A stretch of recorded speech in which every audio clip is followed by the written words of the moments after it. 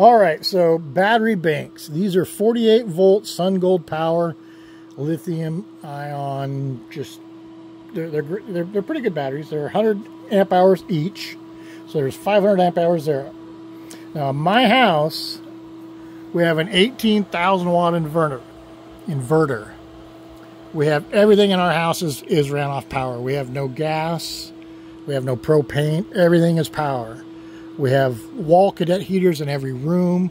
We have a hot tub. Here's our sub panel. You can see everything that's on our system. It's full.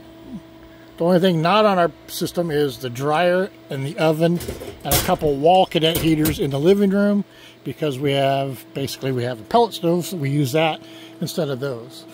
So anyway, these five running the hot water heater, the hot tub, and everything. These five will get us through the night, and at 7 o'clock in the morning, we're at about 15% um, capacity left on them. So what that means to me is I want to get one more to give me about another two and a half for my house, about another two and a half to three hours worth of runtime. One more battery would give me because of what my system does at night. So basically my hot water tank is on a timer. My hot tub is on economy mode, so it runs for um, about an hour and a half every 12 hours. And if it needs heat, it turns on the heater. Otherwise, it just, the pump circulate, uh, circles, circulates the water in the tub to clean it. So batteries,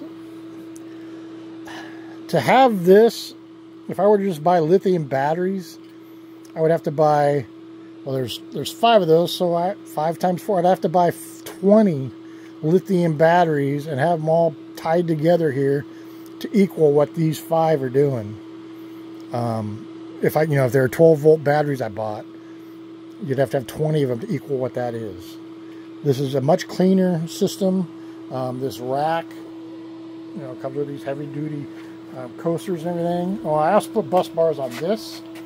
So Will, I tell you, Will is one smart kid. Um, you'll find him on YouTube. He is just, he is beyond his age and wisdom, man. He basically, I watched one of his videos, said, yeah, put everything on a bus bar. Oh, I need to put a cover on this bus bar. I don't know where it's at. It might have fell off. Anyway, he said, you do not jumper from here to here to here to here to here because when you draw power, it's going to draw mainly from here or, you know, whatever. Said put it in a bus bar so it draws it all at the same time. So basically I got one main cable coming from the breaker from over there on the um, charge controllers. And the other 2-aught cable goes up and feeds the inverter. Okay, so basically another bus bar over here on the side. Now there again, there's that bus bar that I bought from from um, Amazon. Um, yeah, it just, so far I'm pretty happy with it. I'd, I'd like to have, actually I'd love to have a whole other set.